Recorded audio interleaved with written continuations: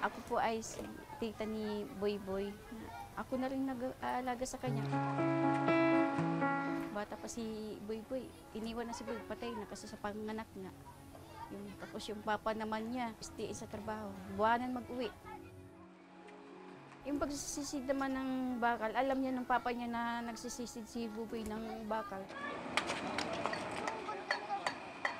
Pero kagustuhan niya yan eh.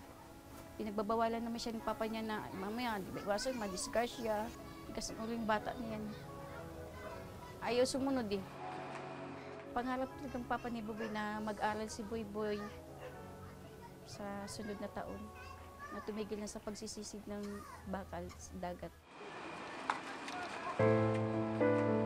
Hindi ko alam kung anong nangyari dyan na sarili niyang diskarte na titigin siya sa pag-aaral. Ako nagturo sa kanya na manisid ng bakal noon. Sumasama-sama kasi yan sa akin. Si, pag sisid ko, sisid din siya. Pag ahon ko, may mga bakal ang pasan-pasaan. Kaya ko tinuruan yan dahil pag tanda niya kung ano, pag emergency, pag wala na talagang trabaho sa mapasukan, di do. Pwede siya doon. Kaya nagdadasal ko rin na sana sa pagsisid niya, wala talagang sablay sa kanya.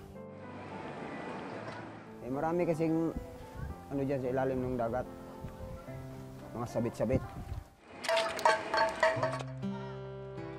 Alam po ng magulang ko na sumisisid ako sa, sa dagat ng bakal. Kasi para lang po pangkain ko. Sabi nila, sige daw pa. Para may, para pag wala daw, pag wala na daw po sila, meron na daw po ang pangkain.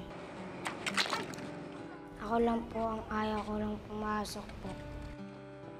Kasi po, minsan po nahiya na rin po magsabi po sa teacher ko na wala rin akong assignment. May nabuli rin po kaya hindi na po ako pumasok sa school. Tatay ko po nasa hospital ngayon kasi sumusuka po ng dugo. Si nanay binabantayan, binabantayan si papa kahit may sakit.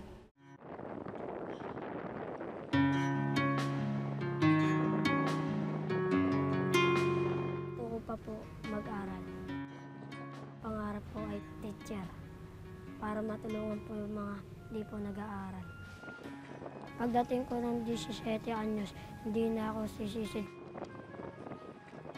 Sana pong mag-aral uli po.